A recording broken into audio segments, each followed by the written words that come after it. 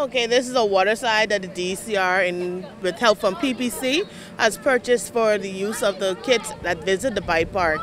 Uh, families usually come here on a Saturday or Sunday afternoon, and they're looking for more than just the regular slide that we have there. So we thought we'd offer them something else, something more interesting, especially for the younger kids to be able to do.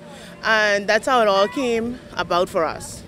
The slides will be available for the public to use for free in the park on Saturday afternoons. Um, there will be someone here to monitor them, to watch the kids as they go on the slide to make sure they're doing it right because as you can see, it's a run and jump kind of thing. Um, it's a good way to get wet in this heat that we're having and the kids find have a lot of fun with it. Okay. According to Williams, adults will be able to get in on the fun as well. There's more than one slide we purchased. There's another one that is larger that both adults and kids can use as well. So adults, watch out for that one. It'll be put up very soon. Um, these also will be used, um, will be able to be rented by individuals that come and use the park for their events. Though tourists are welcome to use the slides, the DECR is hoping that more local families will take advantage of this free feature.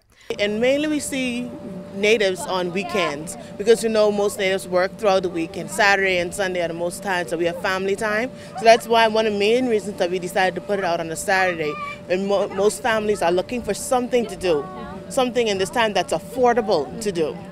According to Williams, the DECR has a priority to reach out to TCI families.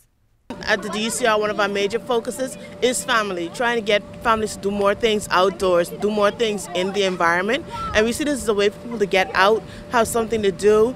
Um, grown-ups can sit underneath the cabana and watch their kids slide, um, visit the beach, visit the, the park itself.